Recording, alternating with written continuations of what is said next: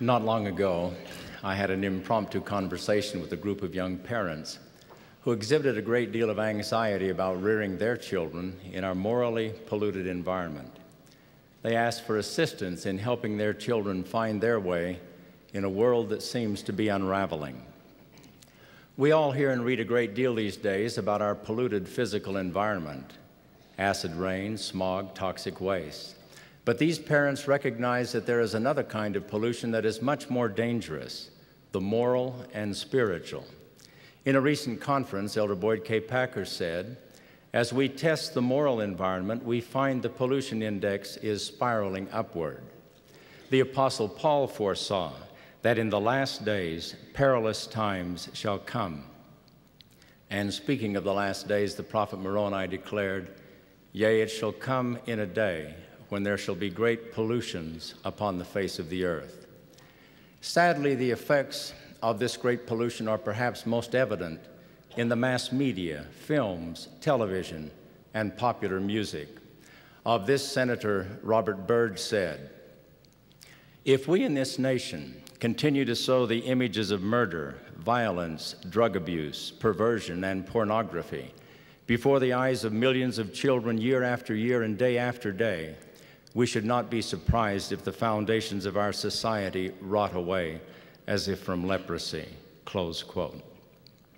Although, although there are some uplifting exceptions, in most areas of the mass media, there seems to be a declaration of war against almost everything the majority treasures most the family, religion, and patriotism.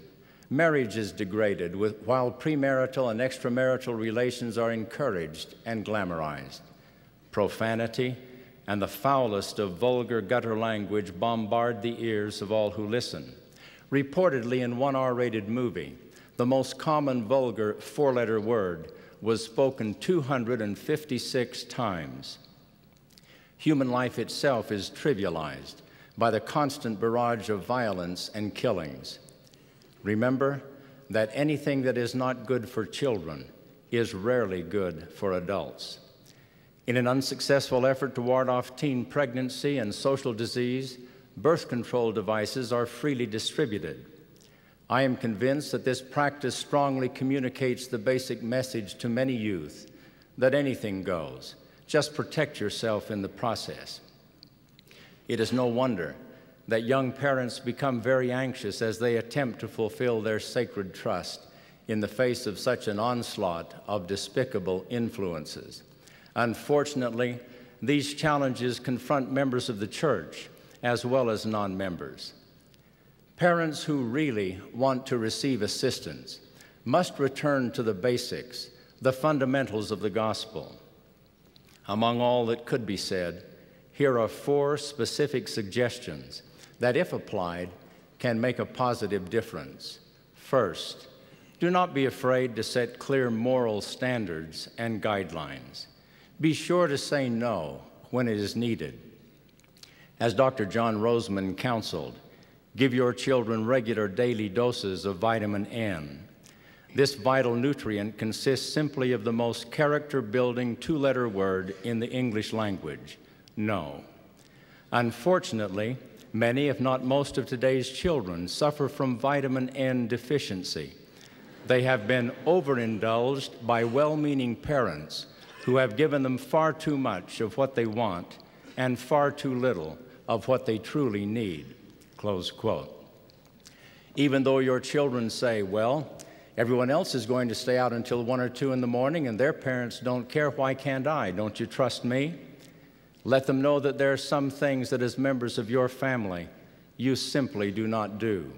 Some parents seem to be almost pathologically concerned about their children's popularity and social acceptance and go along with many things that are really against their better judgment, such as expensive fads immodest clothes, late hours, dating before age 16, R rated movies, and so on. For children and parents, standing up for what is right may be lonely at times.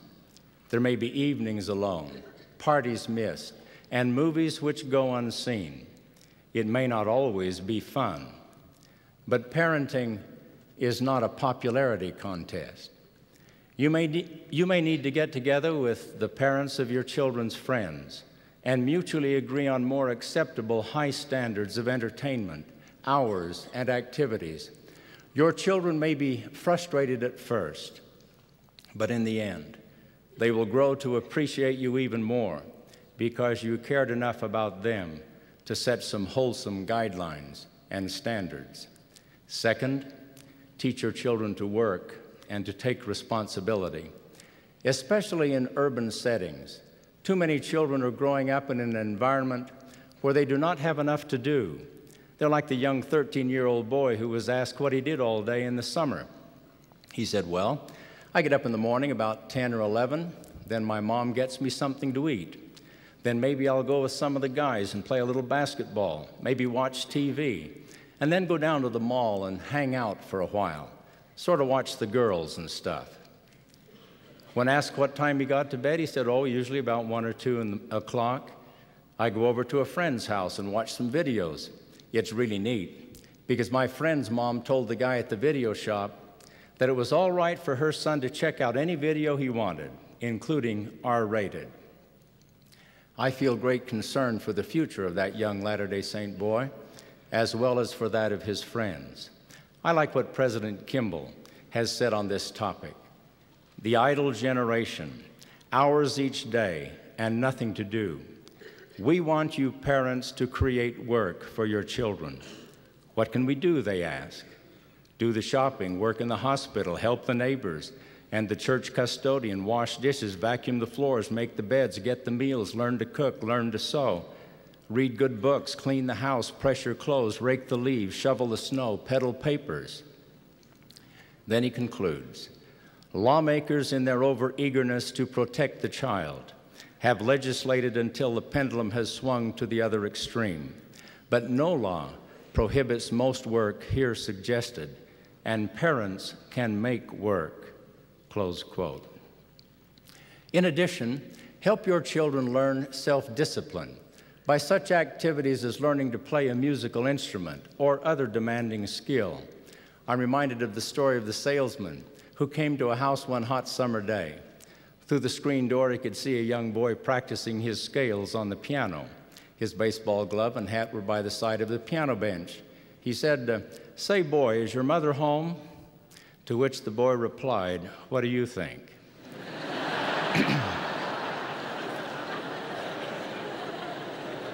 Thank heavens for conscientious parents. Every child should be helped to develop some skill or talent by which he or she can experience success and thus build self esteem. Missionaries who have learned to work hard and have developed self discipline are much more successful. Third, creating an, an, environment in your family in which spiritual experiences can occur. For example, remember family prayer every day. With schedules as they are, you may need to have more than one prayer. Sending children out of your home without the spiritual protection of prayer is like sending them out into a blizzard without sufficient clothing hold family home evenings every week without fail. This is a wonderful time to share your testimony with your children. Give them an opportunity to share their feelings about the gospel. Help them to learn to recognize when they feel the presence of the Spirit. Family home evenings will help create an island of refuge and security within your own home. Read the scriptures together daily as a family. There is real power in the scriptures. President Benson has said, May I admonish you to participate in a program of daily reading and pondering the scriptures. The Book of Mormon will change your life. It will fortify you against the evils of our day. It will bring a spirituality into your life that no other book will. Close quote. Is the Book of Mormon a significant part of your reading? Count the number of rich promises President Marion G. Romney made to parents when he said, I feel certain that if in our homes parents will read the Book of Mormon prayerfully and regularly, both by themselves and with their children, the spirit of that great book will come to permeate our homes. The spirit of reverence will increase. Mutual respect and consideration for each other will grow. The spirit of contention will depart. Parents will counsel their children in greater love and wisdom. Children will be more responsive and submissive to the counsel of their parents. Righteousness will increase. The pure love of Christ will abound in our homes and lives, bringing in their wake peace joy, and happiness. Close quote. We should not take these 10 promises lightly. Fourth, follow the counsel of the prophets. Listen to their messages at this conference and reread their counsel to us from prior occasions. If your personal and family practices do not conform to the counsel received, then for your own family's sake, make some changes. President Harold B. Lee has said, we must learn to give heed to the words and commandments that the Lord shall give through his prophet. And quoting from the Doctrine and Covenants, as if from mine own mouth, in all patience and faith. He continued, There will be some things that take patience and faith. You may not like what comes from the authority of the church. It may contradict your political views. It may contradict your social views. It may interfere with some of your social life. Your safety and ours depend on whether or not we follow the ones whom the Lord has placed to preside over his church. Close quote. From a personal standpoint, of what value is it to have living prophets if we do not heed their counsel? Fathers and mothers, it's not too late to change. There is still hope. You can begin today to apply these suggestions and others you may add. We can help our children and grandchildren to survive spiritually and morally in a world where the pollution index continues to spiral upward. The intent is not to take our children out of the world, but as the Lord prayed, to keep them from evil. I know that our Heavenly Father lives. We're His spirit children, and He loves His family. Jesus is the Christ, and this is His church which is led by living prophets. Of this I sincerely testify in the name of Jesus Christ. Amen.